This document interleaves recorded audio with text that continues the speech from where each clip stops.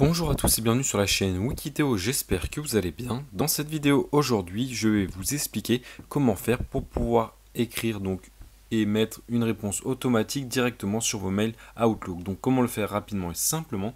Donc je vous invite à bien suivre ce tuto jusqu'à la fin. Alors pourquoi faire ça? Alors c'est très simple, imaginons que vous avez une adresse Outlook professionnelle et que vous partez en vacances, et eh ben en fait il est toujours plus professionnel d'envoyer directement une réponse automatique au mail que vous recevez en indiquant aux personnes que vous êtes donc pas là, pas disponible et à la date où vous reviendrez. Alors comment faire? C'est très simple, vous allez vous connecter sur votre compte Outlook via votre ordinateur comme ceci. Vous allez cliquer tout en haut à droite sur le petit écrou juste ici. On va cliquer tout en bas sur afficher tous les paramètres. Et juste ici, vous pouvez voir à l'aide de la souris qu'il y a écrit réponse automatique. On clique dessus. On va cliquer sur activer les réponses automatiques. Voilà. Donc ensuite, vous allez pouvoir cliquer sur envoyer des réponses uniquement pendant une période. C'est si vous êtes en vacances par exemple. Vous mettez donc la date de la période, hein, bien évidemment. Donc euh, imaginons, voilà, on va partir, euh, allez, on va partir du 14 jusqu'au 27 de 11h à 11h. Ça, c'est vraiment à vous de voir ce que vous voulez. Donc là, on peut cliquer sur bloquer mon calendrier pour cette période. Donc personne ne peut vous ajouter des réunions ou autres. Refuser automatiquement de nouvelles invitations à des événements, par exemple des réunions ou autres. Ou refuser et annuler une réunion bah pendant une période. Cette période. Donc ça, c'est vraiment si vous avez un Outlook professionnel que votre boîte entreprise utilise Outlook.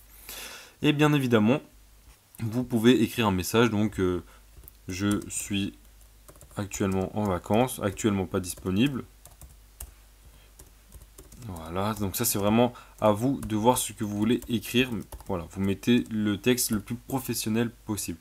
Et là, vous allez cliquer sur envoyer des réponses uniquement à mes contacts ou autres. Donc moi ce que je vous conseille c'est de ne pas cliquer sur ça si vous avez des mails professionnels qui ne sont pas dans vos contacts.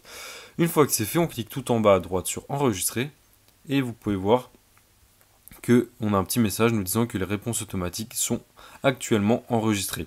Pour pouvoir les désactiver, c'est très simple, on clique sur le curseur juste ici.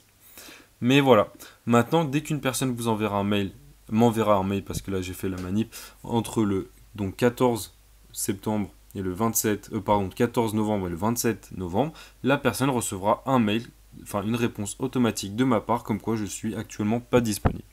Voilà, maintenant vous vous connaissez comment faire cette astuce. N'hésitez surtout pas à liker cette vidéo, ça nous aidera beaucoup, à vous abonner à la chaîne et surtout à partager ce tuto à une personne qui désire savoir comment faire cela. C'était la chaîne Wikiteo, à bientôt.